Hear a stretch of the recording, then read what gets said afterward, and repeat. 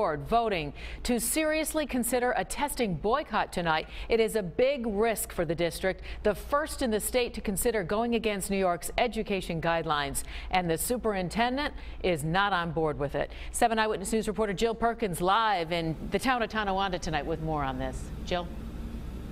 Well, that's right, Joanna. This is truly groundbreaking. As you mentioned, this Board of Education, now the only one in the state to take this admitted risk. The board voting unanimously tonight to move forward with considering boycotting certain state education requirements.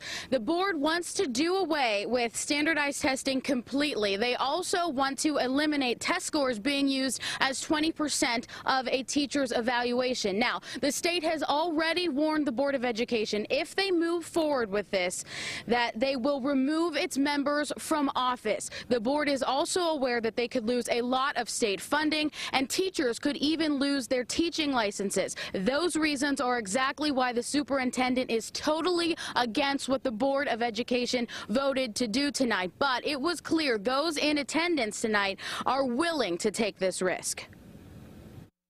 I feel like boycotting these tests and result in a change that we absolutely need for our education. And whatever the consequences are, any time there has been great change in our country, it has been for somebody to be a risk taker. That's further than anybody's ever gone before. And, you know, bottom line is we're given a warning. Uh, you know, I- we're not playing games anymore.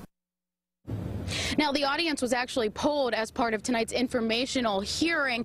We can tell you that 281 people voted the same way that the board ultimately did. 22 people, though, were against this. But again, this is only to consider moving forward with boycotting these state practices. The board is hoping to have an official decision within the next uh, week and a half because students are going to be scheduled to take those tests on April 14th. The board is also hoping that other districts around the state will jump on board and follow suit. We're live in the town of Tonawanda tonight. Jill Perkins, 7 Eyewitness News.